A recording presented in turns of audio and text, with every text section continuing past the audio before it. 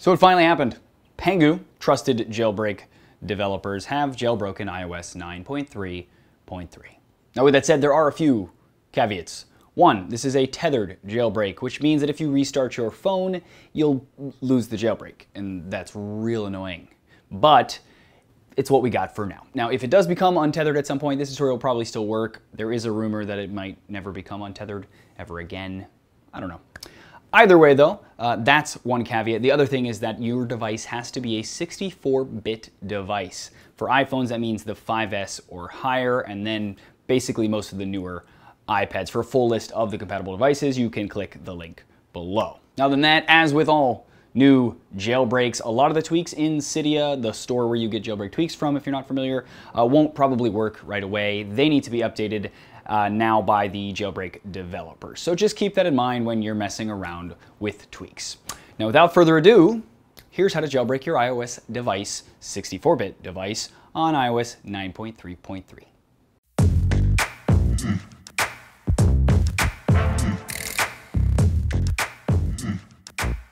Okay, real quick before we begin, this will only work on Windows at the moment as the program they made is for Windows. There will probably be a Mac version at some point, but for now, there's only Windows. You must also have the latest version of iTunes installed. If you don't, click the link below to download it to your computer.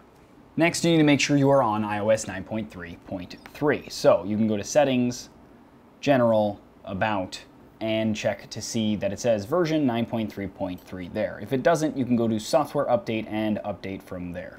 Next, we need to set up some things on the phone to make the jailbreak work a little smoother. We're gonna go to Settings, iCloud, turn off Find My iPhone. Then we're gonna go to Settings, Touch ID and Passcode, and make sure that your passcode, Touch ID, everything is completely off. After that, we're gonna download the Pangu software by clicking the link below. Then click the red button on their page there, then the green button at the top of the next page and wait for it to save to your computer. While it's downloading, we can plug in our phone via USB, open up iTunes, and click Backup Now. After that, we can close iTunes. Then we're going to right click on the Pangu program and hit Run as Administrator. Then click the big green button in the middle, wait for it to download its thing. Then click the new button in the middle. It'll ask you to allow it access, say yes.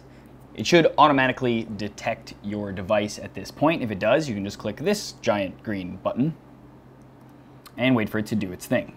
If it doesn't automatically detect it, you can click the blue button with the Pangu symbol hiding from behind it in the middle of the five icons to start it manually. After a while, here comes the creepy part. It asks you for an Apple ID and a passcode. So I don't recommend putting yours in. That just creeps me out a little too much. So I actually went ahead and created one for you guys to use until someone messes it up for everybody.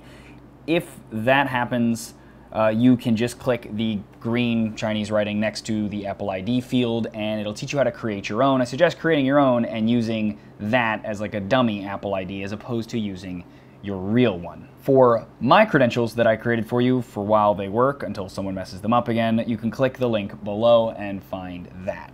Once you put in an Apple ID and password, click the green button yet again and let it do its thing.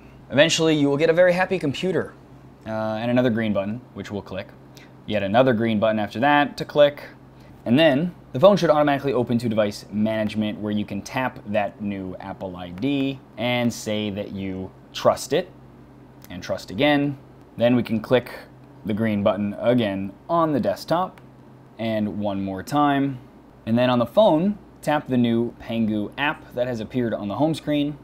Say OK for it to send you notifications. And then tap the big circle in the middle. After a couple seconds of that, you're going to lock your screen by pushing the power button. A notification will pop up, just ignore it. You might also get another one about your storage being full, that's because it's downloading things for Cydia. But eventually, it will just restart itself. When it does, you can slide to unlock it, swipe over, and you'll find Cydia. You can then tap Cydia, wait for it to set itself up, and you're good to go. There you go, guys. Finally, a jailbreak. Ah! Um, hope you guys enjoyed that video. I'm sure a lot of you have been waiting for it for a while. But if you did, please thumbs up it or share it. It is greatly appreciated. Also, head to my site where I have a whole plethora, repository even, of all the jailbreak tweaks that I have found in the past that are awesome that you might want to try to install now that you're jailbroken if you've been waiting. Otherwise, check out my channel. If you guys like what you see, please subscribe. And as always, thanks for watching.